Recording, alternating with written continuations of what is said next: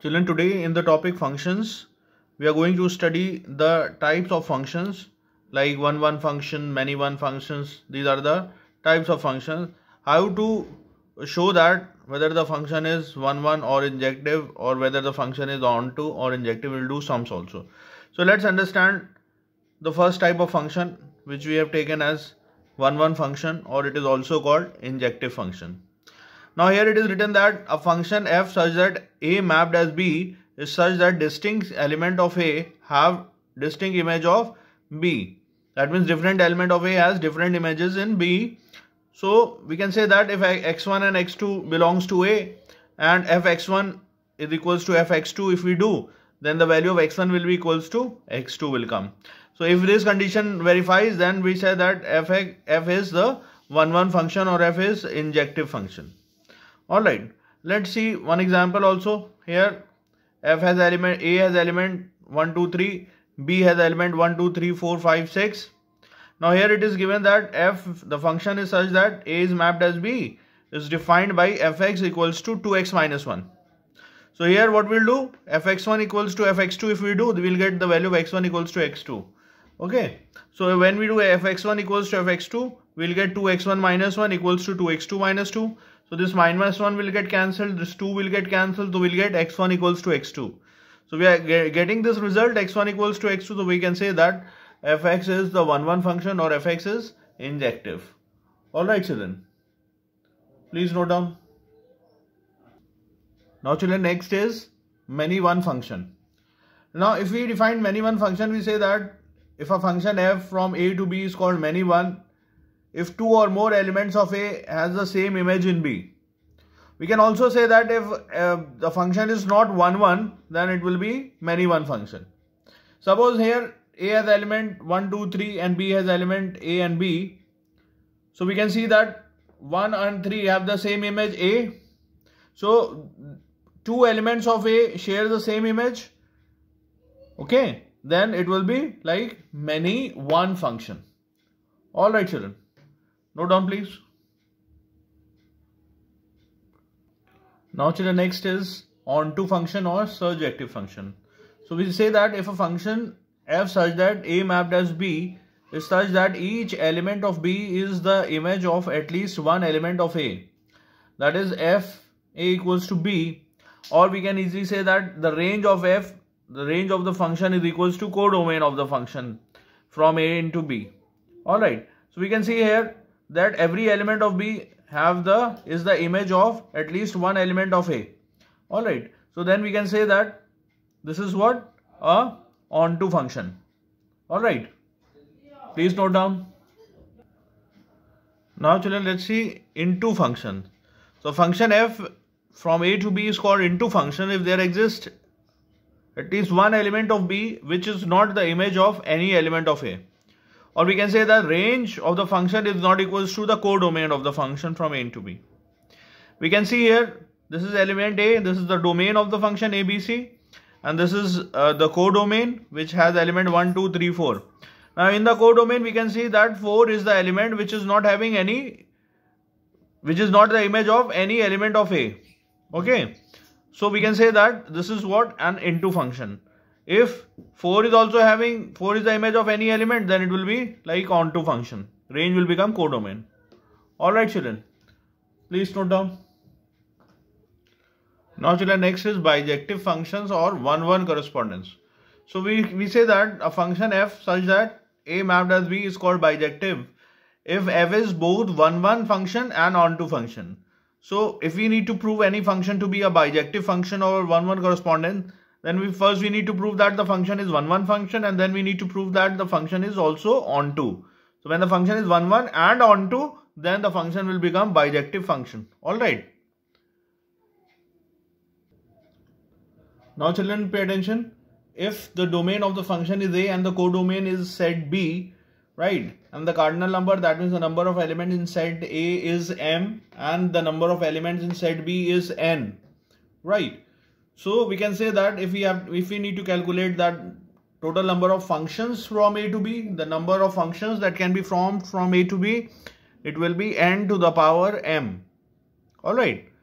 if we need to calculate the total number of 1 1 function from a to b so that will be ncm into factorial n when n is greater than equals to m alright and when is n is less than m then it will be 0 this will be many one function. So number of one one one function will be 0 if n is less than m. Alright next is the total number of 1 1 and onto function from a to b or we can say that the number of bijective functions. So that will be factorial n when n equals to m. So again for uh, bijection it, it is compulsory. The function should be 1 1 so when n equals to m, it will be factorial n and when n, n is not equals to m, there will be no bijection. So it will be total number of uh, 1 1 onto function will be 0. Alright. Now next is the total number of many one function from a to b. Alright. So it will be n to the power m minus npm when n is greater than equals to m. And the last is uh, if we need to calculate the number of onto functions or surjective functions so it will be uh, summation r from 1 to n minus 1 to the power n minus r ncr r to the power m. Alright children so this way we can calculate the number of uh, functions one one function number of bijection number of uh, many one function or number of onto functions. Please note down. Now let's see this sum children. Now here it is given that check the injectivity and surjectivity of the function fx equals to x square. f is such that integers is mapped as integers. That means uh, domain also belongs to uh, integers and range will also be integers. Now let's first check the injectivity or 1 1 whether the function is 1 1 or not. So fx equals to x square. So we can say that if we put x equals to minus 1 we'll get the image as 1 and if we put x equals to 1 again we'll get the image 1 so two numbers or two integers are getting the same image. So when uh, two of the elements are having the same image, then it will not be 1, 1, it will be many 1. So when hence you can say that fx is equals to x square is not 1, 1 or is not injective. Let's see uh, how to prove onto or into function. So when y equals to fx equals to x square is given, so when we take the x value of x, it will be under root y and we know that x and y both belongs to integers. But if we put y equals to minus 1 the value of x will not belongs to integer. That means the pre-image of y does not exist. The pre-image of minus 1 does not exist. So we can say that the pre-image of minus 1 minus 2 negative integers. So the pre-image of negative integers does not belongs to the integers. Okay? Does not belongs to the uh, this domain. All right. So we can say that fx is or we can say that the pre-image does not exist of negative integers does not exist. All right so the function is not surjective or onto. Please note down. Now let's see this sum children. And this sum it is given that a let a is set a is belongs to real number except 2 set b also belongs to real number except 1 then show that the function f such that a mapped as b defined by fx equals to x minus 1 upon x minus 2 is bijective. So we have to prove that the, this function is bijective for the given domain and given codomain.